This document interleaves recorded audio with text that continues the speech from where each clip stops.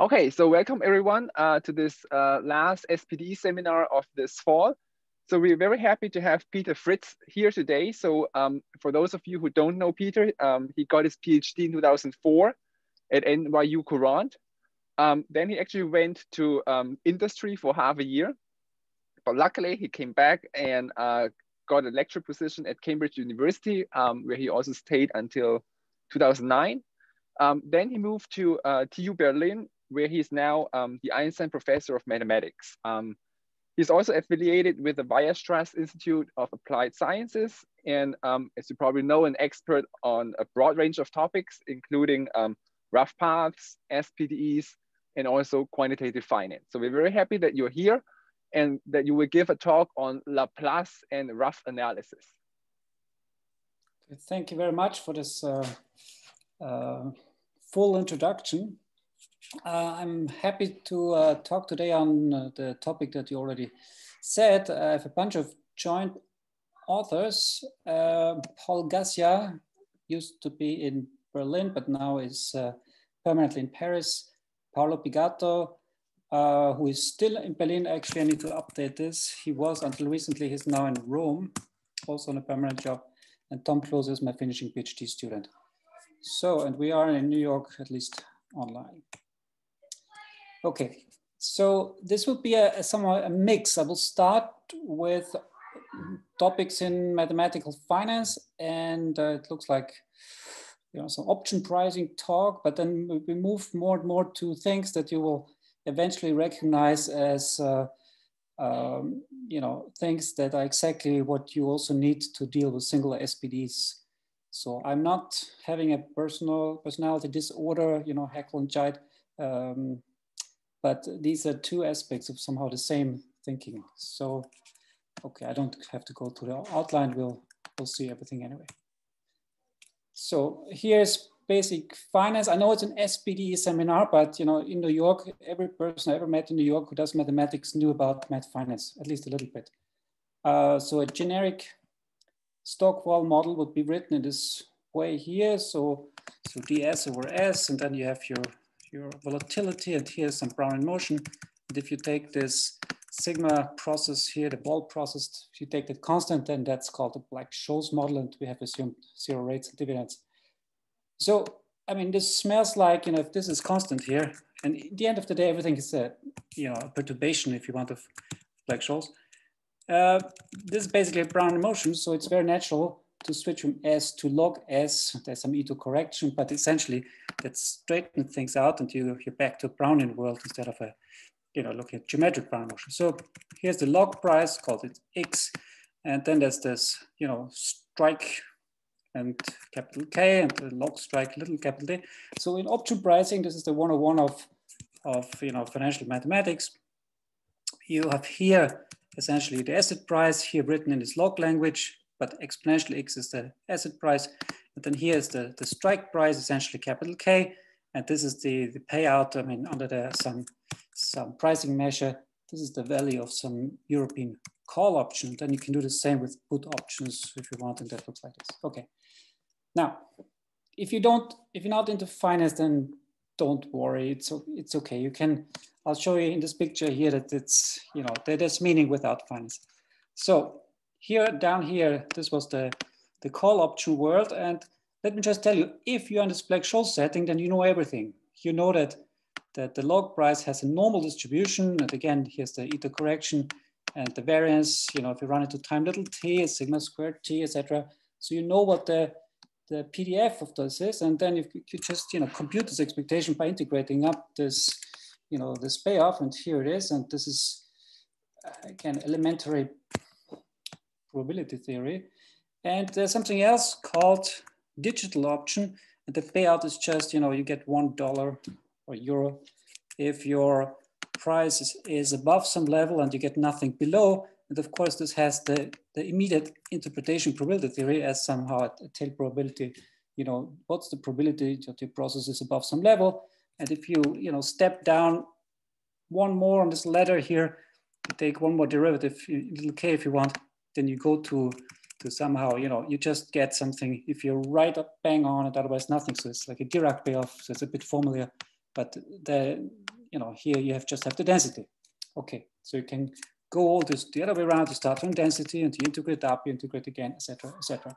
So knowing all the call options, the call option prices for all case basically tells you what the law is of this random variable x at time t. But here's just a Gaussian example here, okay?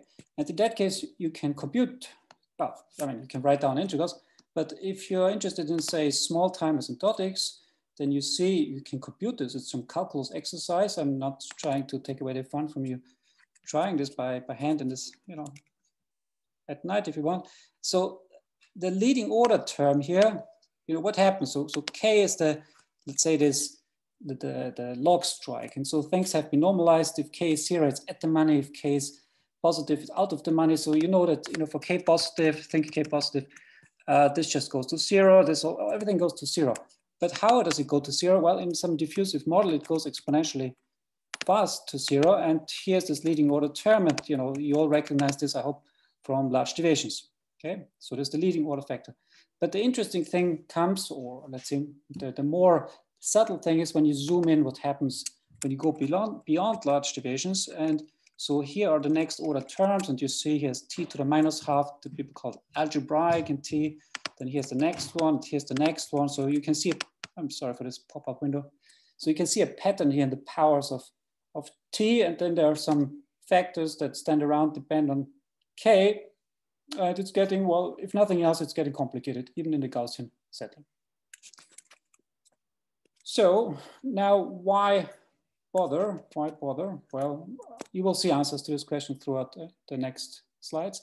So let's make things more complicated because uh, we don't want to end at Black-Scholes. So we look at the classical stoch-vol model, the one I had in the very beginning, and let's put some sort of Markov structure in it.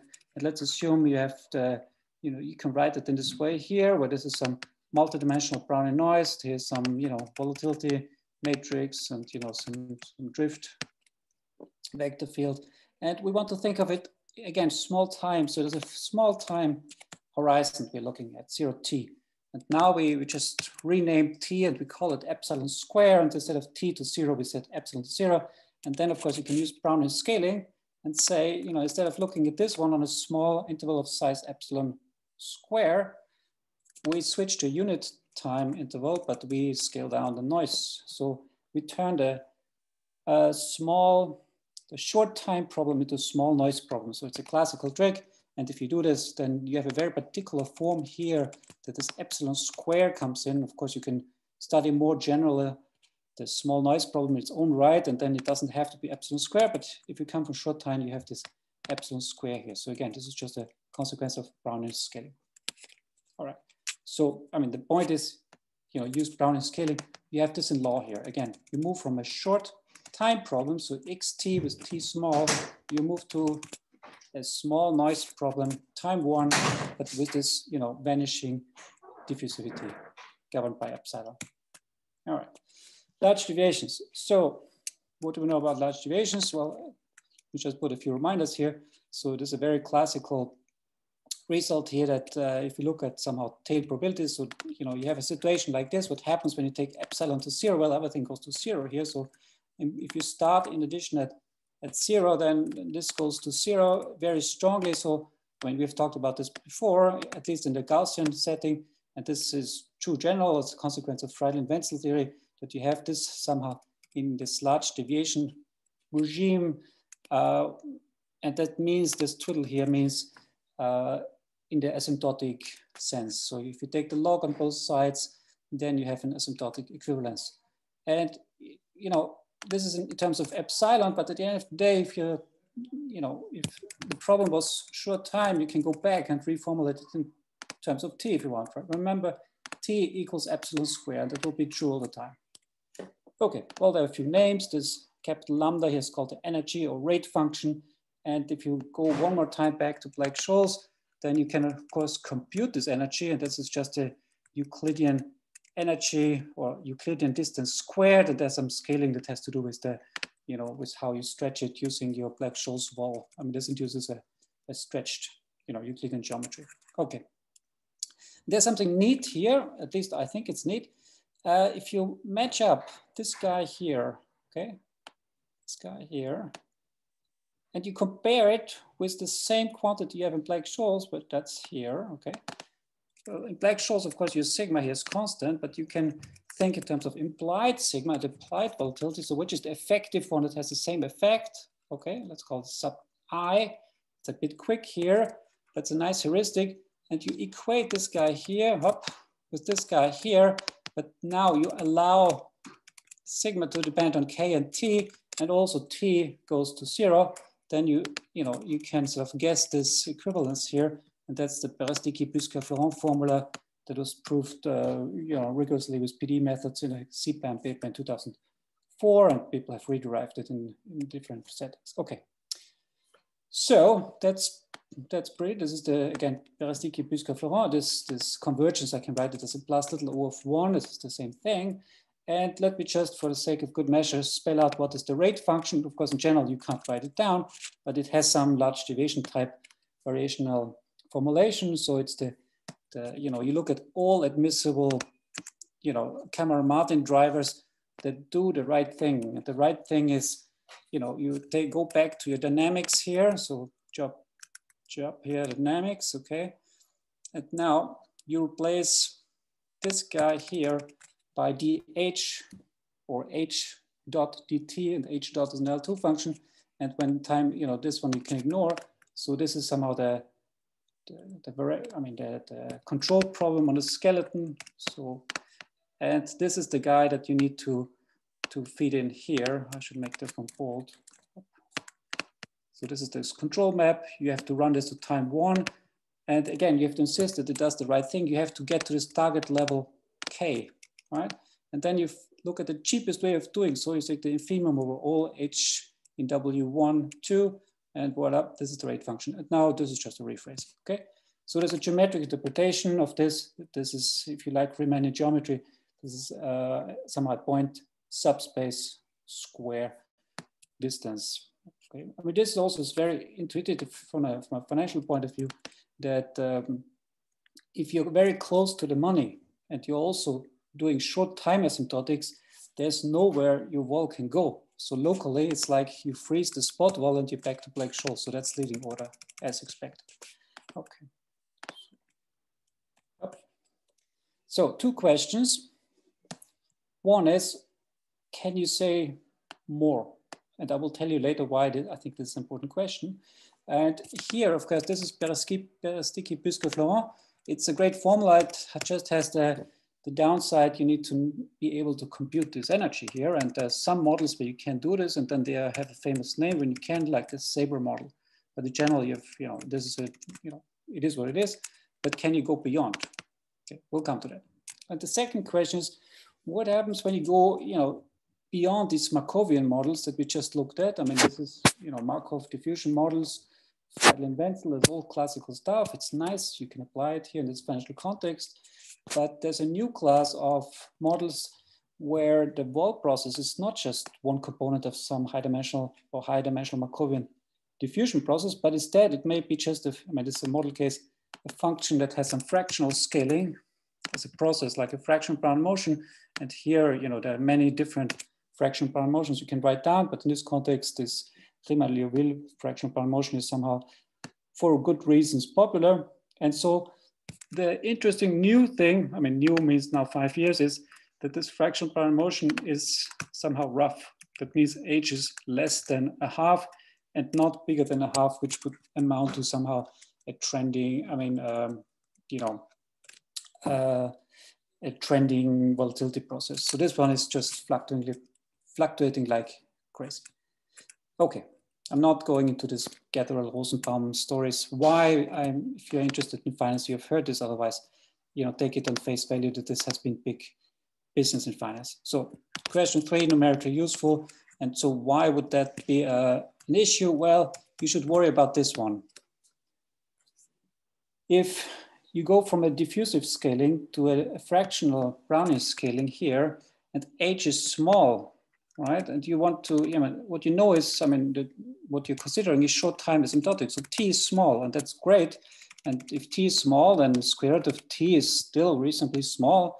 But if your h happens to be you know very close to zero, then then this may not be that small after all. So you may be worried about the quality about your explanations. And I should start watching the time here because there's a lot to say and time is ticking. Okay, so let me give you a partial, a few, uh, you know, pointers to the past, but uh, I want to go quickly on this part. So, so in a classical Heston model, people love this model. Uh, you can compute many things here. So I give you a few names here. Let me not go into detail, but let me just say that this next term, this is the question I posed, is actually uh, known. So you do get a t here. So, I mean, remember this whole thing here was a little o of one. So the, the first term is of order t and then plus little o of t is at, at least not shocking. And then people were able to compute this as a function of k. And there are long, I mean, several papers, in fact, where they make a case, you know, how this affects the numerics and it's all good and, and dandy.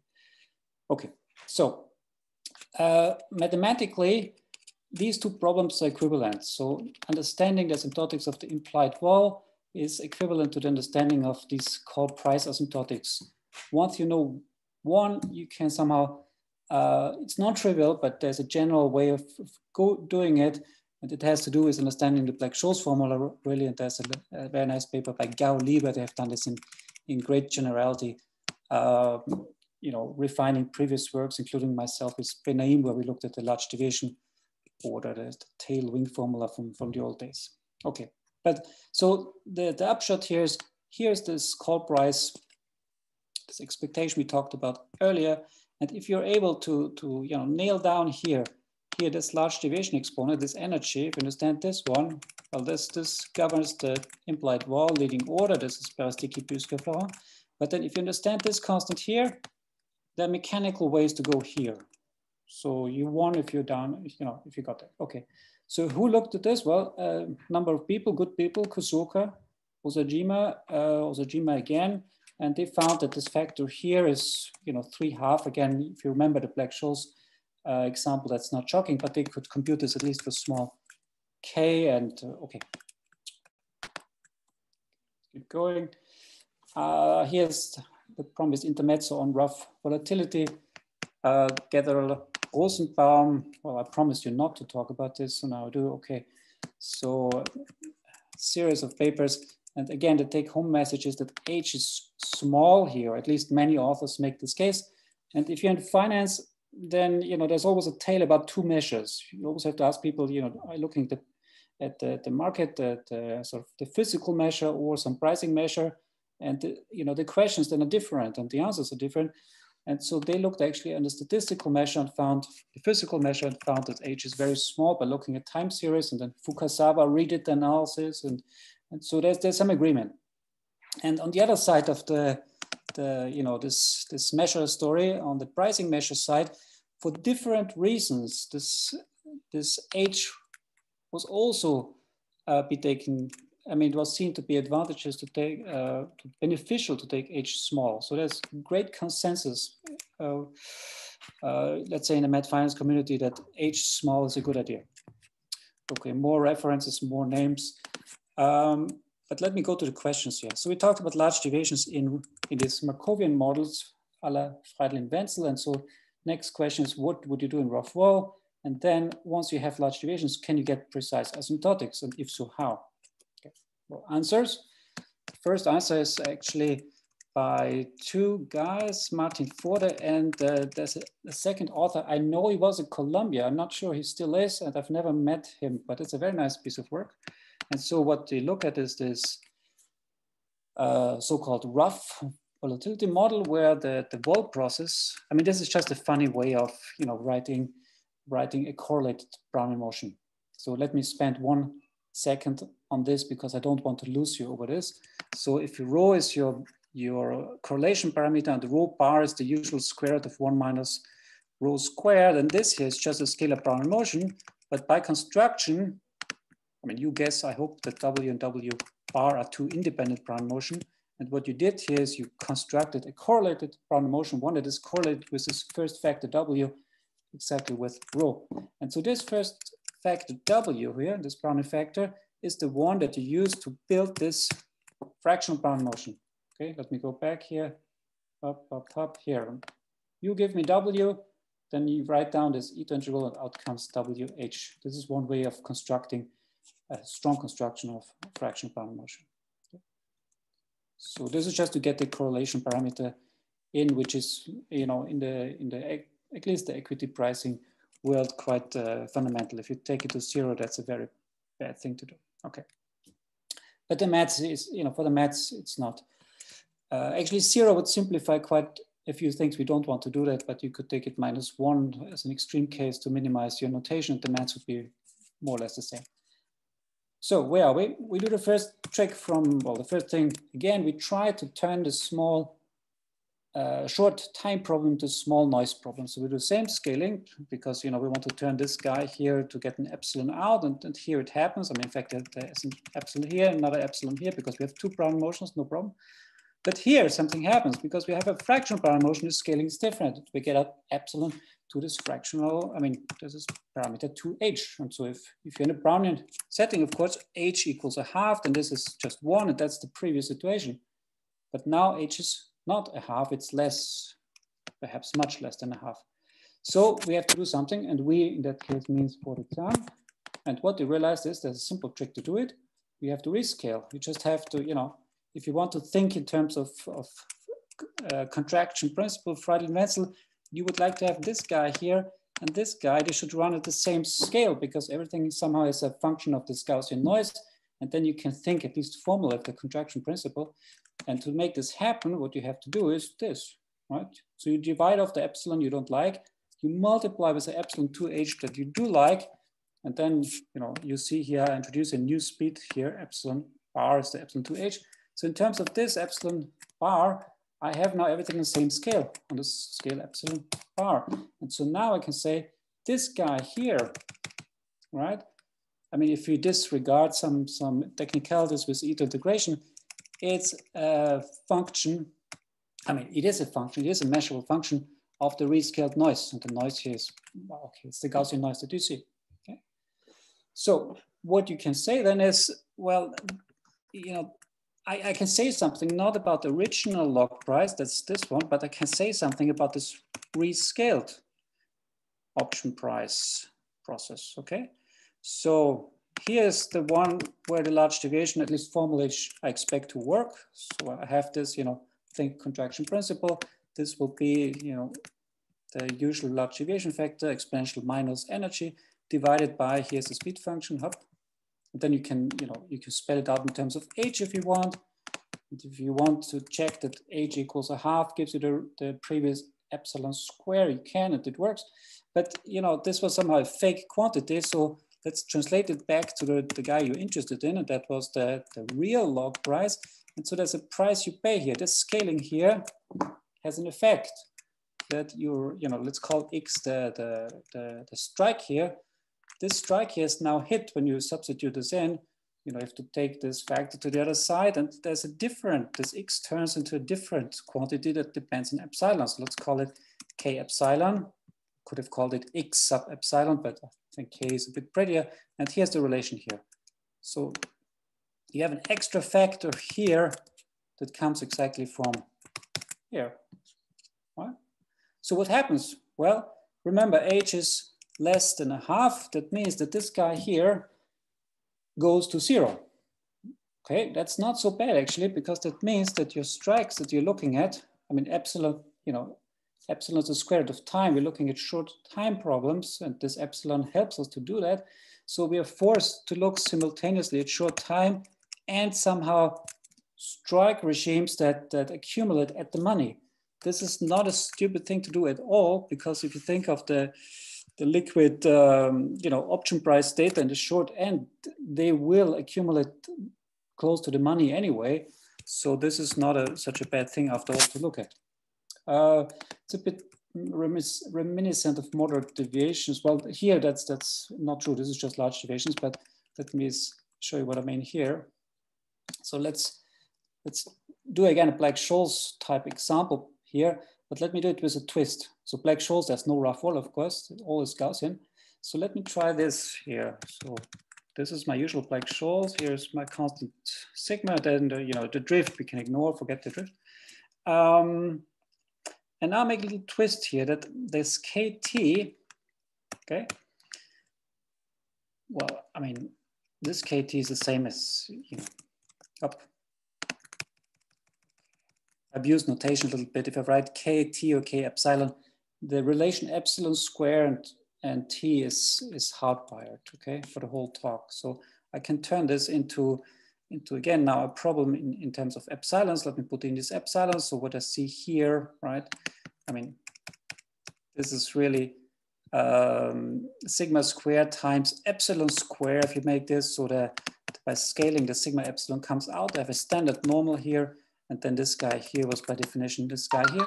So I can do the power counting on epsilon and see what I get. I get this here. And why I set it up, I set the problem up here to make this epsilon to the 4h appear. I put this in by hand, okay? But the advantage is I, I put it now on this scale here that allows me to play the same matching game that I did earlier. Because here, right, this was just, I mean, this is what I got from an honest large deviation somehow analysis. And now here, I, you know, I forced it in by putting in this extra factor here. It was my choice that my, you know, my log strike here runs at this, at this level here, right, at this rate. And this rate was chosen exactly to make this 4h appear here. I can make it disappear if I put an h equals one half, this whole thing disappears and I'm back here to the epsilon squared. It was on slide three today, but now I twisted it for purpose to make this 4h appear. Why? Because it's the same in 4h here. And now you match the, the, the exponents again, and what you get here is again this BBF formula, but now in the setting of rough volatility. And the price you pay is here. It's not your fixed, you know, your fixed uh, log strike anymore. That used to be the same x's here, x here, x here, but now here you run. This is this one, okay? So this is how you have to tweak the BBF formula to make it work. But again, I'm explaining to you work that's not mine at all. This is for its son. So, okay, then you can do more, more context, more names. I think I will skip this. Uh, other than this. Today, our prototypical rough vol example will be the one from Forde-Zhang on this slide, I'm just making you know, a statement here that there are several other models with rough vol that are popular, rough Heston very much, rough Bergomi very much. But our toy example for the rest of today is this uh, Zhang model. So you just impose that your, your vol process is a function of your fractional bound motion, okay? Everything I'm saying can be adapted to rough Heston, rough Bergomi if you want to, but the, the key ideas I explain in this, uh, you know, model example. Okay. Um, there is something that you can say about this. Uh, okay, I mean, we talked about somehow, you know, this large deviation. There's a close relation between these tail probabilities here and actually the, the call prices themselves on the large deviation level. I don't want to talk really much about this, so let me skip this. And here's the result, and I can be a bit more specific now. So this has a general. So Peter, I think there's a question in the chat. So is sigma decreasing or rho negative typically? Is sigma decreasing? Sorry, which sigma? Is this referring to this equation here? Uh, Julien, can you uh, unmute yourself and ask the question? No, so yeah, so I'm just asking, so so typically do you expect, you know, positive correlation between like spikes of volatility and like, you know, decrease of price or vice versa? So this correlation parameter, this one, rho, yeah, that's a, well, it's also here. So that's a toy problem we're talking about, this one. So this rho is a fixed parameter. The analysis here, um, it would be boring if I take it zero, okay? Yeah. And certain implications, you don't want it zero. In, but it's a fixed parameter throughout the, you know, throughout the talk, throughout the paper. Uh, usually people take it close to minus one, at least in equity. So I'm not trying to tell a story how to choose this or, or to make it move or anything. Does that answer your question? Uh, yes. Okay. So of course, it's a good question. How does rho affect this, the shape of your smile, you know, which is governed to first order by this one? So these are all interesting questions, but this is not the, the context uh, or the content of my talk at all. Okay, thank you for your question. Okay, so I was about to, okay, this to appear in AB20, but okay, who cares? Um, so there's some mild integrability condition that you need to deal with European talks. If you don't like it, you do puts instead. And, uh, but so what is the result? I think it's a nice one. You get this leading order factor, this large deviation factor that we have seen before, so no surprise. And then you get this whole refinement. And what you may or may not remember is on the first few slides today, we looked at the Black-Scholes examples. And so that, you know, essentially can think H equals one half. And so this one turns into three. And in terms of time, this is T to the three half. We've seen this in the Black-Scholes example, okay? And then there was some mysterious constant, I, I, don't think I even wrote it down. And so we can actually spell out what it is here. Uh, before we get too excited, the, the, the expressions here, I mean, you can, you know, dig into, drill into models and, and work out what they are and at least, you know, say what it is when X is small, which is, you know, which is close to the money. So you can further analyze this, this thing here, but it's by no means an easy, an easy expression or anything. Okay, but that is it. So this is as epsilon goes to zero, epsilon to, uh, to zero, sorry. Oh. There's a cool software, by the way, it's called TeXmacs. Okay, so I will tell you about something about the proof here, but not immediately. A few remarks here.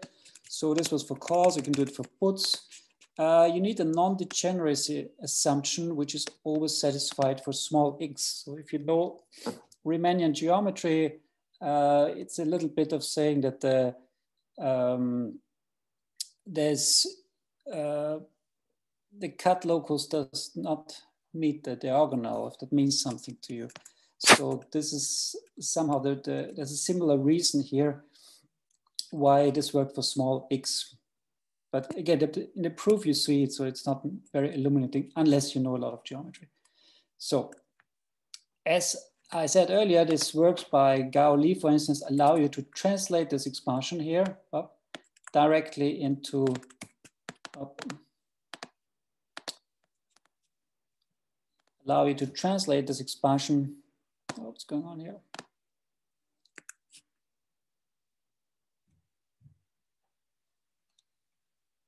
Okay, we're back on track. So you can take your expansion and get a corresponding expansion of the implied volatility, which is what practitioners care. And you have this leading order BBF term. And then the next term is T to the 2H, and so again, if H is a half, which is the diffusion case, you have this T here that I've shown you earlier, at least in the Heston model. And there's some, uh, you know, explicit term here. Again, you can say more about it, but I don't want to torture you.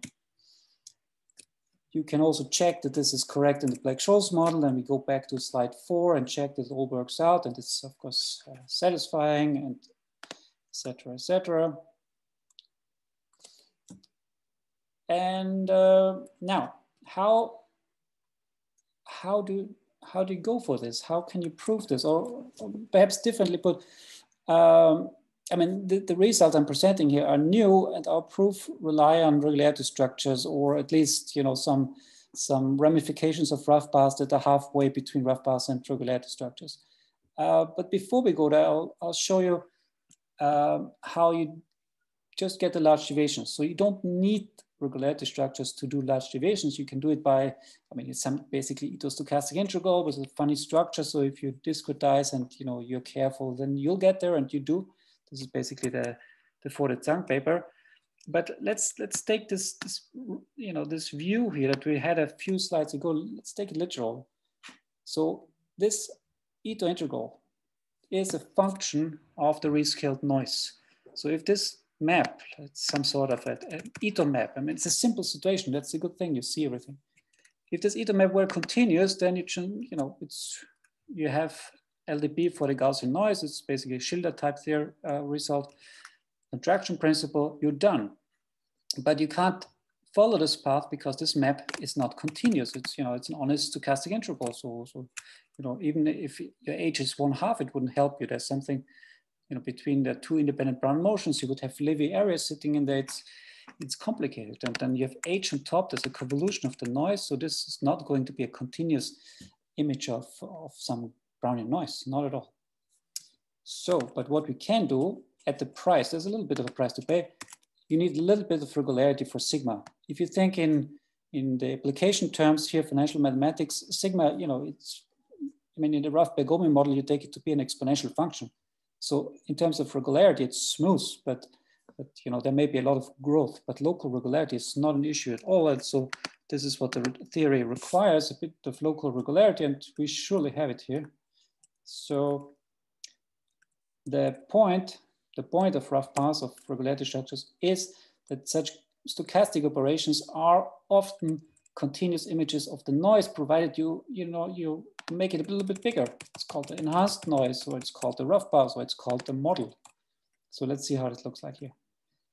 So here are two Brownian motions. So back in the days, you know, think Terry Lyons, you would have had, I mean, the beginning of rough paths, there would have been no H here. You would have looked at W and, and WH bar. And again, this is essentially Lévy area. And then you would try to say something about this. Now here it's a bit different, right? Because um, even if you forget this for a moment, this W bar, I mean, there's an extreme case that is perfectly interesting to look at. I gave recently a lecture at ETH where I did everything in the setting. You can take your rho equals minus one so what happens is that your rho bar vanishes. And then you can forget about this W bar. So it's a one factor stochastic vol model. Bit like the old model that Chris Watts has proposed. So this is, you know, perhaps not even that important. That guy is, is sort of curious, right?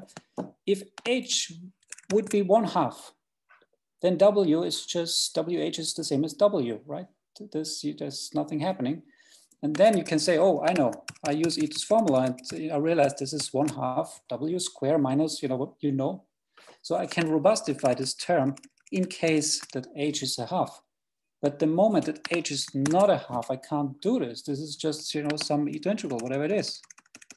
Okay, so I have no choice here than taking this with me as building block. This becomes part of my you know, rough paths, but not rough paths in the sense of a definition in, in some of the books, but it's a rough paths in philosophy. And so if you if you look for the right name in the literature, I mean, you realize it's actually an example of a model in the sense of Martin Hairer. So, and then depending on how rough you are, so that depends on your age, and again, age is small, you may need more building blocks. And where do building blocks come from? Well, you know, in the end of the day, rough paths and even regularity structures is all about Taylor expansion. So you have to do, you know, local expansions of this. This is where the smoothness of sigma comes in, and then you need your building blocks ready. And the building blocks are here. Here's the first one. Here's the second one.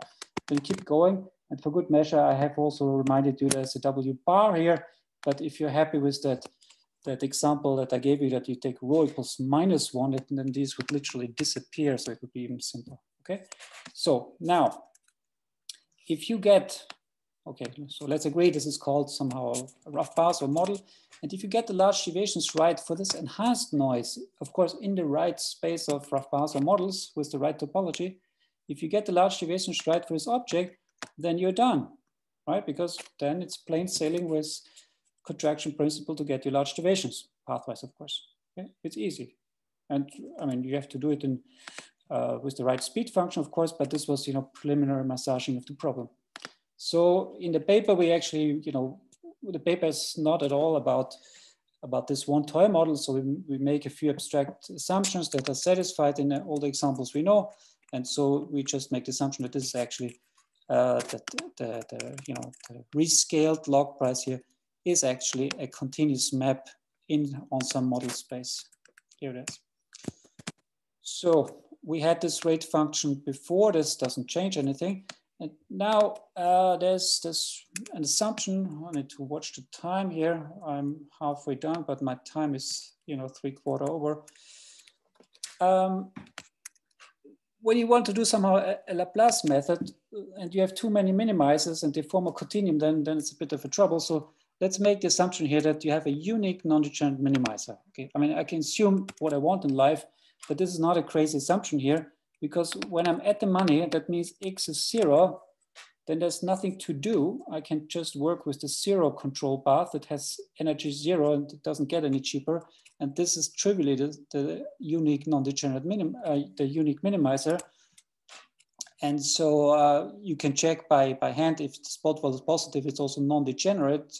And this non-degeneracy, this unique non-degeneracy or uniqueness plus non-degeneracy is actually an, an, open condition. So if it's true at, at the one point, in that case, x equals zero at the money, it's true in a small neighborhood. So, so it's a good assumption. I mean, you have to make it as an assumption, but in the end, it's you check it in your applications. Otherwise, it's not a good theorem, of course. And so what's the idea of the Laplace method? And that, I mean, this goes back to uh, Azencott, Benarous, Bismut. I mean, this is the, you know, the, the heydays of stochastic analysis in, in um, in France, but also with Stroock and, uh, and co-workers in the US and AIDA and, and Kusuoka. So, so this was big business in the 80s, 90s.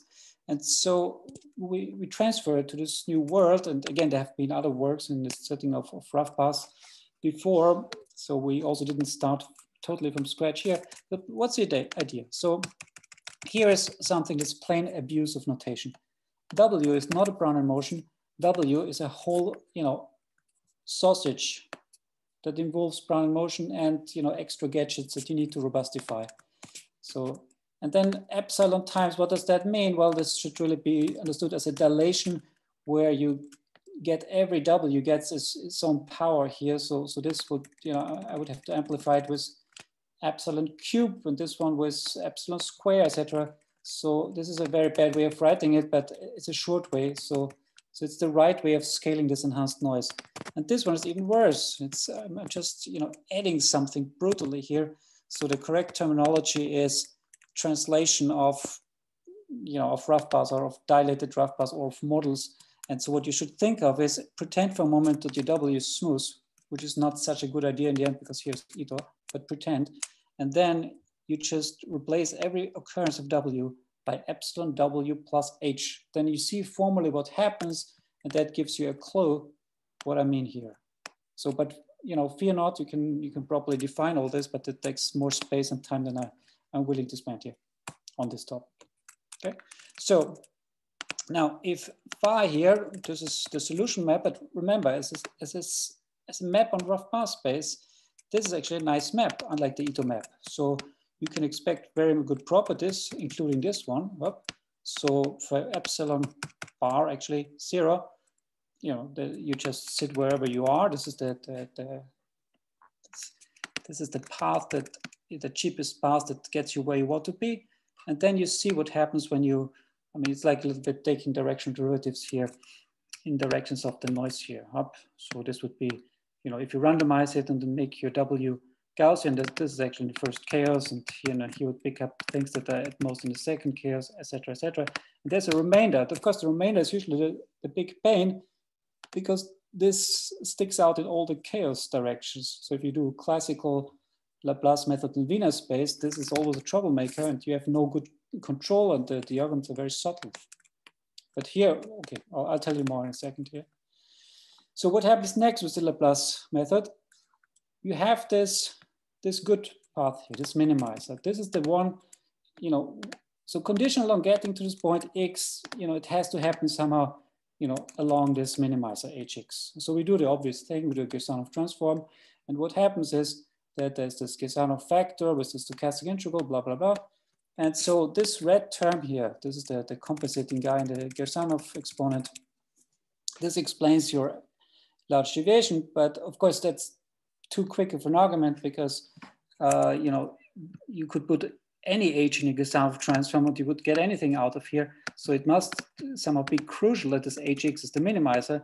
And there's a first order optimality condition that will take care of this stochastic integral as a constellation here. So this is actually this, what I'm just saying here, uh, requires a, a little proof, but it's really a first order optimality condition that tells you that this Ito integral here actually relates to this expansion that we have seen here. This G1 here, you may or may not remember, this is this guy here. Up. Okay, first, do you have an explicit expression for this G1 or G2?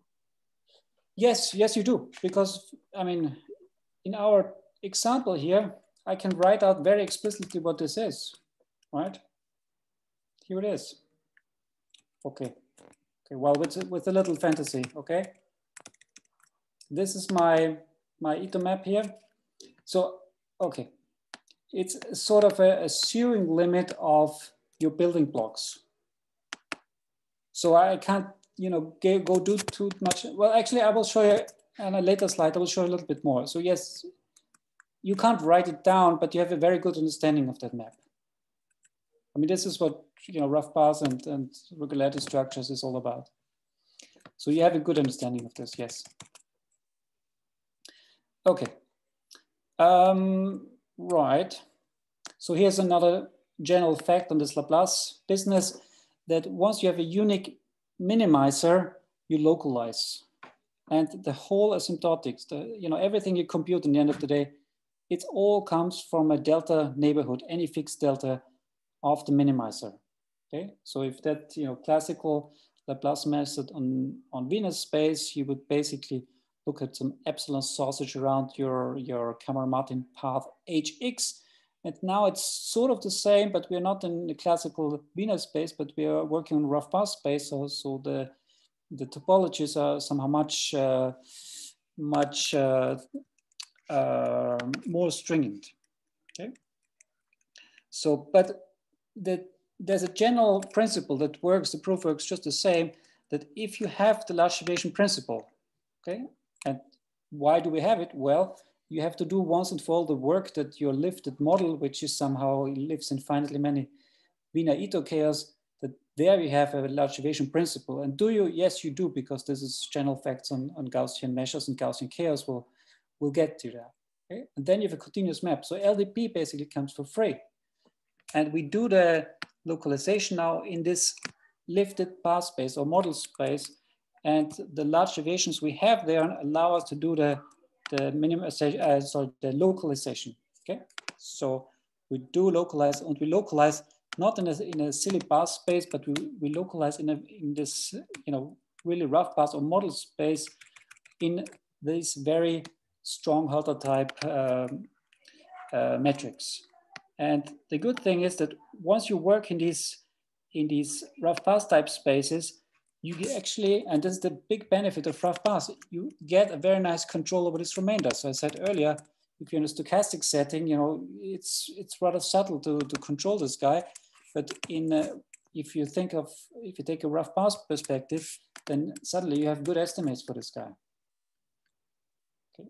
At the price of moving to this bigger noise space. So I said there were other people looking at, at such ideas in, in a rough path context uh, before us. Uh, so here are some names, Aida, Inahama, Kawabi. I mean, there, there, was a whole series of, of, papers, maybe 10 in total or more, GFA, good papers, good people, uh, recent applications to heat kernels on the cut locus. And so it's, it's good fun. Okay, so here's my promised uh, example where you see it explicitly. It's called the, the fractional Stein-Stein model. And it's a very simple affine choice here. You know, your vol process is a function of your fraction Brown motion, yes, but it's an affine one. So in that case, you can really write it down, right? Here it is. If you think, you know, the, the model was basically an Ito integral of this guy here, but then you plug it in, what you get is Gaussian part, and then you get these explicit, very explicit integrals. And there's a typo here, there should be a W. So this is one of the cases where you get this explicitly. You can just write it down, right? This is it. So I'm putting on the table some uh, this uh, you know Ito correction that that you get from log price, but it's totally irrelevant. So so this is really it. Okay, and because of that simple structure here, you don't have to do the sewing. So if I have a more general function of my noise here, I would have to fire up some local sewing or reconstruction arguments to write it down. But in this simple case, I can basically spell it out globally as a function of a, as a linear combination of my building blocks. So that's very special, but that happens in fractional Stein-Stein. And now you can amuse yourself to walk through this, um, this construction, this special case here. And I say also something here about more general. So what, what is when you move, you know, to more general Fs here. So in this case, F was affine, but now it's some general F. What would happen? Well, again, you need to, to use Thüringen rough path, rough hierarchy construction, you name it. But so why does it work? Why do you get this good control? You can see it very nicely here. So let's try here that you have a, a cubic power. So this is, well, you see something here. Let's do H a half just to see that the computation somehow explicit because now we can play around with Ito tricks and you can compute this guy actually. I mean, if you think about it, if you take this here cubic, okay, what's going to happen here? Then you can just apply Ito's rule, right? So if this is cubic, then this is somehow of order four in the noise. So so there's something here, order four, and there's some Ito correction. And I, I checked once and all my coefficients, coefficients were correct, but I'm not checking now for you again. And so what's the problem with this is this one here, right? This, this sounds like it's terrible because uh, you have this, um, you know, you want this to be, I mean, we talk about remainders here and you would, you would like it to have exponential moments at least.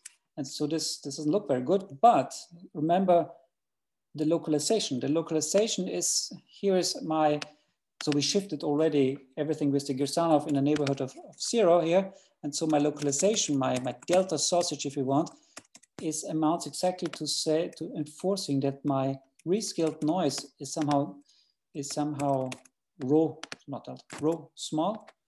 And so what that does mean, that, that means that I can take off of these four powers, I can, you know, can take off two of them and make them, I mean, I need this in the argument here to take care of my epsilon. You, you don't see it, I, you know, there's also this epsilon somehow around here that I will see in the expansion.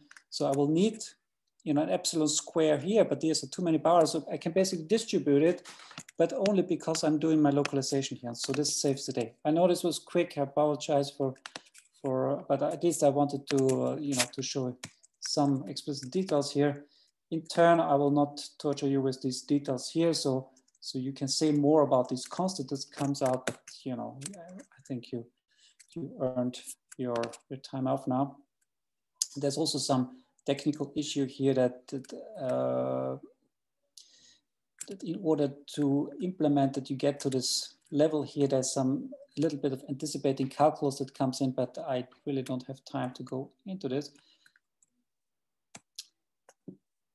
So let me just conclude here that in this prototypical rough bus or vol model, excuse me, rough vol model, uh, for small x, you can go a little bit further here and you can, so this, this one I showed you earlier, but you can also, you know, zoom in to this factor here for x small and do all sort of stuff. Um, again, I should not go much further to here. Then if I gave a similar talk here in a final seminar. And then uh, these slides here, again, I will treat very quickly. The contribution, I mean, this, this is a story, I have to make a case. All this work, we got this extra term here in the implied vol expansion. Why does it matter? This is why. This is what you do without and the improvement here. And we're looking at really extreme scenarios, very short and very small age you know, this is what you do without and this is what you do with. And then the picture's getting better if you go a little bit further down, you know, out in time or make your age a little bit bigger. So I'm, I'm really very honest here. I'm showing you the worst case scenario pictures. Everything else, it's on the paper. There's a whole cascade of beautiful pictures. Well, here's some of them. Okay. Good. Conclusion, rough, model, rough models are analytically tractable. Large deviations, Laplace method, regularity structure, rough paths, they all work together. Good. Um, the way I see it is they give you somehow, they give you tools to make heuristic proofs rigorous. And that's, I think, absolutely great. And compared to, well, the CLT base, I'm not going to talk about this and I'm not talking about John-G projections either. But I wanted to talk about a little bit about regularity structures.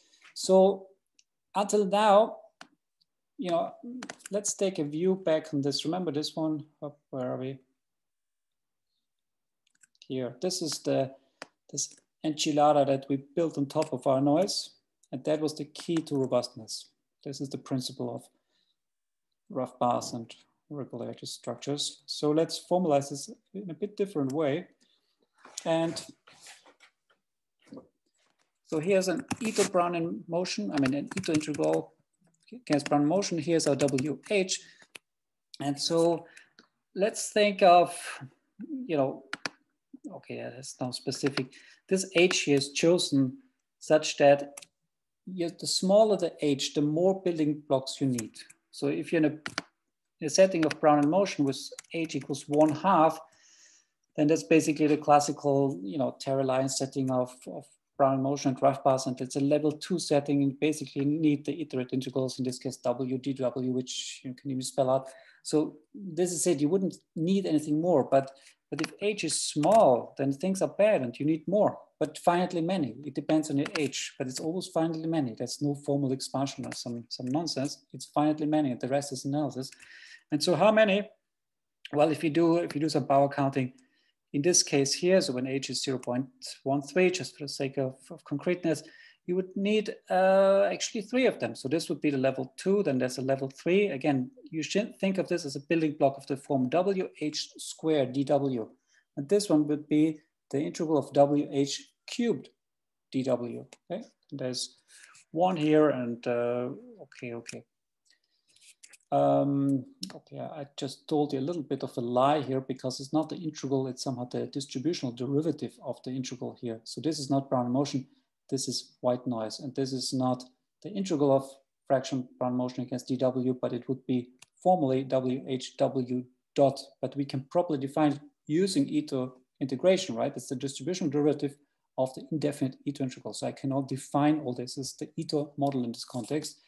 And well, well, well, so this rough vol structure that emerges here consists of bushy trees. So if age is getting smaller, I'm growing more and more bushes out there, but I'm not going very deep, which is opposed to geometric rough paths, if you know what that means, where you just, you know, keep, there's no branching in geometric rough paths. You can resolve all branching with shuffle identities. And so you build linear trees or sticks. They can be very long, but there's no branching, okay? So if you want to unify these two, then you're in the world of branch rough paths, but the, the downside of that world is it never somehow had, had profound natural examples. So I think this one is a, is a very, very explicit and even useful example that, that we have been somehow exploring. Okay, now if you if you are a fan of regularity structures, the second edition of my book with Martin is out uh, you know, we wanted to make it short and sweet, and we started in in 17. So it took us, uh, no, maybe 18. It took us uh, two years to, to do it. There's a new section now in the chapter on regularity structures that deals specifically with rough volatility. And so all the co-products and uh, you know all the things you have might have seen, you see them again in the context of rough volatility. But as always in this context, introducing all this notation uh, that requires another 20 minutes at least, or if not a talk or a series of lectures in its own right. But I strongly recommend you go there. The second edition is worth the money, 100 extra pages. Now, I don't know how tired you are, but I have 10 more slides to go. Shall we keep going? I think we can go uh, keep going for like five minutes. Okay. Like oh, it's getting a bit messy now. Uh, you know, I turned to a different way of, of looking at so let's talk about singular SPDEs. And if, if there's one thing that I would love if you people take away from tonight is that the maths is very similar. Okay. So not, I'm not claiming everything is the same in, in regularity structures and finance at all, but, but here is, a, is somehow a, uh, a set of problems that, that require very similar thinking. So it's GPAM, which is somehow the, the example 1.1 in singular SPDs. It's of this form here. It's a two space dimension. And I know it's an SPD seminar. You must have seen this before. And so you do the power counting and, and you realize this product here is not well defined. This is spatial uh, white noise. So no time, just spatial white noise. You do the power counting, blah, blah, blah. GPAM in 2D is ill-posed. But if you're smart, so if you're smart, you you do something and it works. And so what you have to do is, as you know, you have to renormalize. And so in that GPAM setting, the renormalization here has the structure here. So it's like, you know, F times F dash, it looks a bit like an Ito, Ito Stratonovich correction term. And so this constant is diverging, etc., etc. And you can also do this in standard PAM example. So we are the 2D torus here. Uh, again, if you've never seen this before, this is not the moment you learn about it. But if you have seen before, then you know what I'm talking about. And now here's a very quick recap on how to, to do this with regularity structures. So you define symbols, so the noise becomes your, your psi, and then and then you have the, these, you know, these building blocks like before that come in, and now it's not, it's not, you know, WH times W dot, it's, it's K convolution psi times psi. And if you think, what was our fractional Brownian motion? Well, it was a convolution of white noise in one dimension with this Riemann-Liouville kernel. So formally, it's just the same. The algebra is identical. And the analysis is not so, diff so different either, right? At some point, you have to to know something about the regularity here. So, if, you know, you have to use some sort of Schauder estimates or something to, to, to understand what's going on. So it's really not that different. Now, one thing which is different is that we had no spatial component here. And so in regularity structures, you need also these, these guys here. So you put them all together, you're building blocks. I mean, this is how you index them in a nice way. This is what, what they are. And then you have to renormalize this in, in some way. Uh, it's a I mean, we didn't have to talk explicitly about renormalization in our previous, you know, discussion rough vol. Why not? Because we had Ito integration at our disposal. So Ito integration does renormalize for you because think about this for a moment. If you go back to, so this is an, I think an important point I should really make. Let's go here. Look at this guy here. It's it's a classical Ito integral, one dimensional, very easy, one Brownian motion. And you use this one Brownian motion to cook up this WH, which is, you know, think the convolution of W dot with this Riemann-Liouville kernel, okay? It's an Ito integral, that's important. It's an adapted integral, no problem. It's an Ito integral. If you try to make a Stratonovich, well, I mean, you can, can try. What would happen? Well, here's some exercise. Compute the quadratic covariation of these two guys.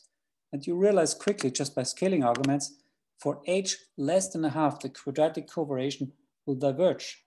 But Ito plus quadratic covariation is Stratonovich. So therefore, Stratonovich diverges. There is no Stratonovich integral. So writing down Ito implements renormalization. So that's why we didn't have to do it explicitly.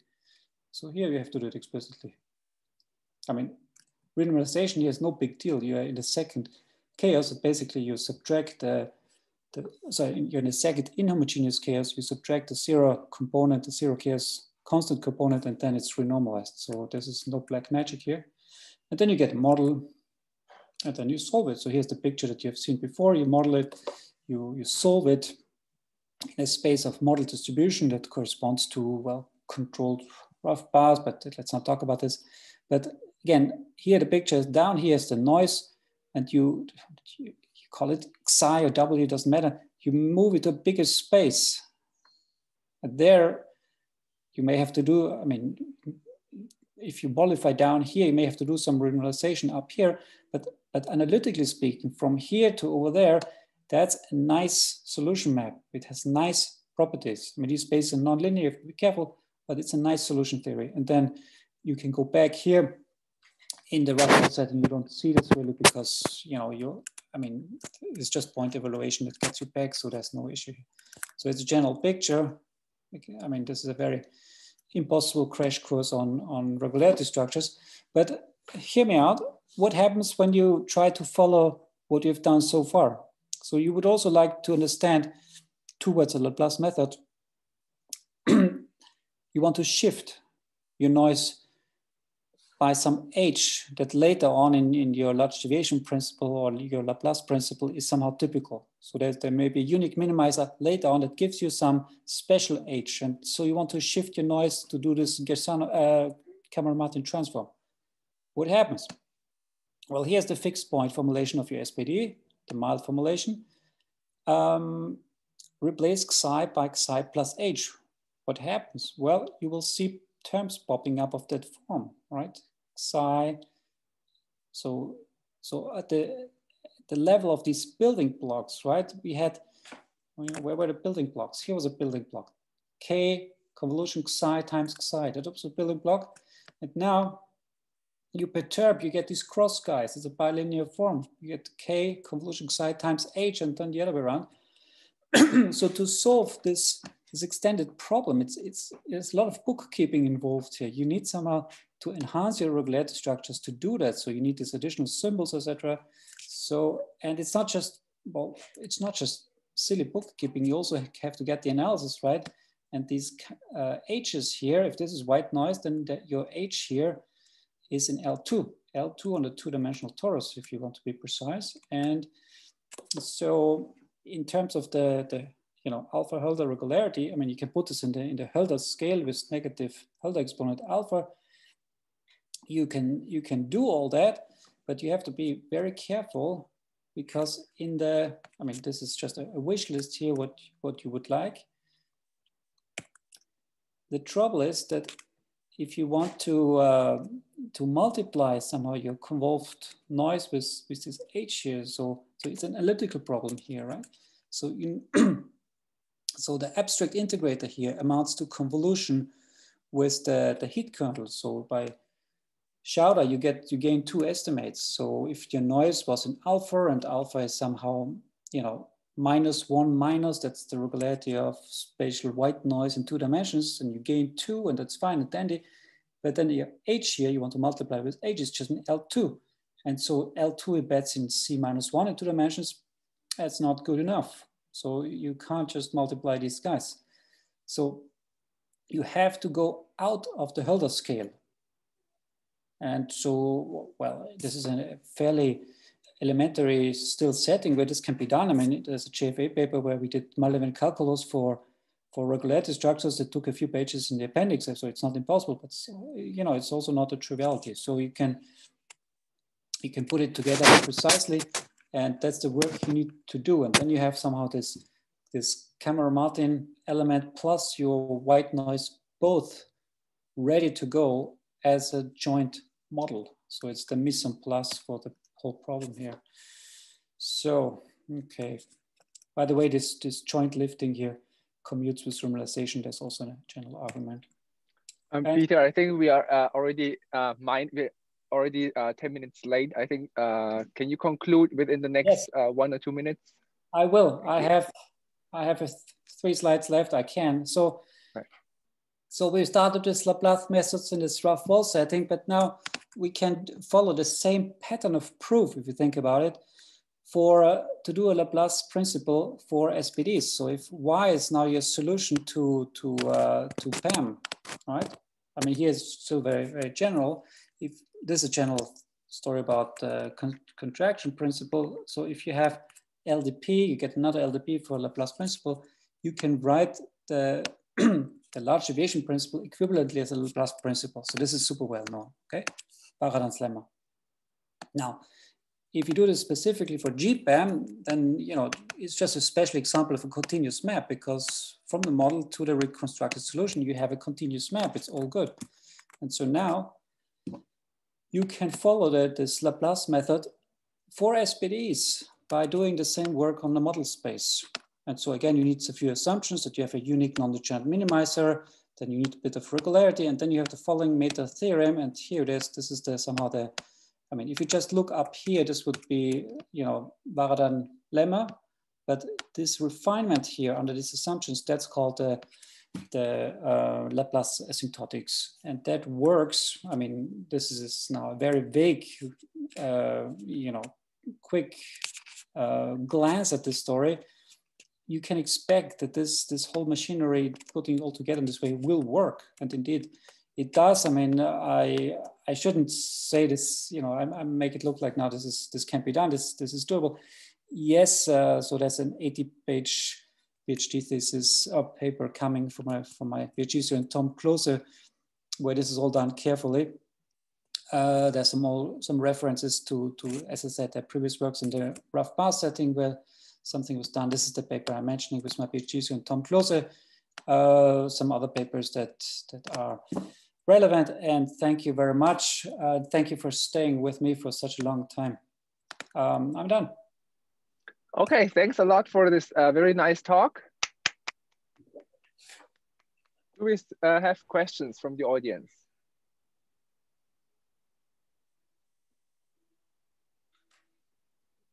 Feel free to just unmute yourself and ask. Uh, maybe I have a question. So when you uh, showed us uh, these uh, pictures, uh, these graphs, um, I, I didn't uh, really see, was that based on a simulation or was that based on actual data? Well, we have a model here. So, you know, we can do a brute force Monte Carlo simulation to get the, the prices and the implied volatilities for that model. So, you know, it could be a different preliminary exercise to take real data and to calibrate that model to real data to make sure that you're not you know, using crazy parameters. So yes, indeed, we took parameters uh, maybe from this Forde-Zhang paper that they used to calibrate. But you know, we were not interested here is going out to market data and, and do something. Okay, so but but you're saying so there is uh, empirical evidence that the curves actually go up as you've shown uh, in in those graphs the curves go up. Let me see what you mean. I think that is uh, so. classical this, this yeah. Here? So yeah. So how do the recurves look like? More like the one that more like the black one or more like the green one? So the black one is the the is the precise implied volatility curve that this model implies. So if you you know if you take this this Zhang model um, for okay the only question you may have is what what choice of, of sigma and delta did i make i mean which parameters do i have at disposal i have sigma this is a function which one so usually people take it exponential and we've also taken the exponential here it's called rough Bergomi. what is h so h i've given you on that plot and what is rho i haven't told you but i think we took minus 0.7 but i may not be right so if you go to the picture here the h is up here. I haven't told you what, uh, what this function sigma is, but I tell you now it was taken as exponential. And then, uh, so sigma from x was exponential of uh, eta x that plays the role of somehow of, of a v-vol parameter. And I don't remember what number we took, but I think we took the one that, that uh, had in their calibration. So we're, I mean, if you have looked at any implied vol smiles in real data ever in your life, and I have done it for for some time at Merrill Lynch. Then this, I mean, this is how they look. SPX okay. is very typical. Okay, right? great. Downward sloping. I mean, that the fact that it goes down here has to do with the negative uh, correlation. Okay. Okay, thank you. Are there further questions? Okay, if not, let's thank uh, Peter again for this uh, very interesting seminar. Thank you. And then uh, wish you have a nice evening. Thank you very much. Ciao. Okay, bye-bye. See you all.